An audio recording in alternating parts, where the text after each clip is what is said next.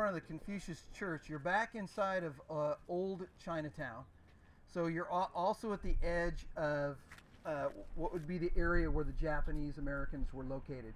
And we're going to go down, uh, what is that street? 22nd. We're going to go down 22nd Street here in a second. Um, and I'll get to that in just a moment.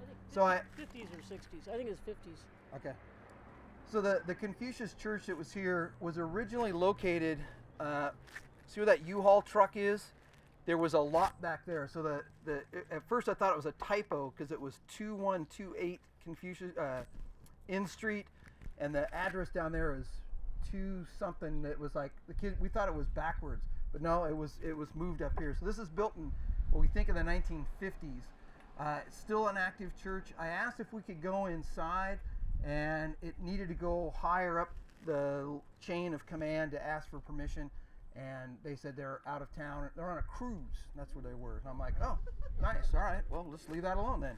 So this this is still the heart of a lot of the Chinese American community, and some of us have been in here for different events.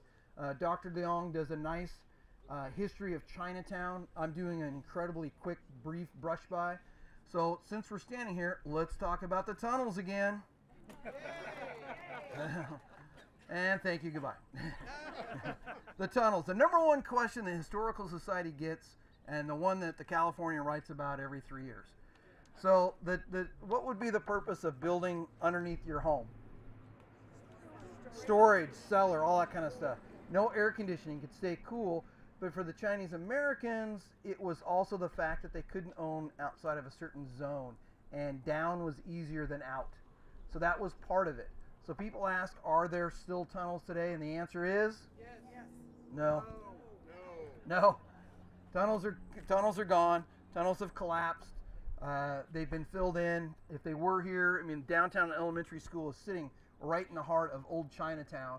Um, there's nothing there. Channel 17, same thing. Um, we've kind of gone over the. I think the the last tour I did by Channel 17, the one guy I don't know if he's on this tour, said they just poured concrete. They had a problem with the building at Channel 17 settling, and they had a, they backed up a, a cement truck and just kept pouring concrete into the basement, or what would have been the basement, trying to fill up the cavity, and they just kept doing it until it was filled, and that was that would have been a tunnel. So let's go down this street, and you'll see across on the left, you'll see a building that has a hall ambulance sign on it.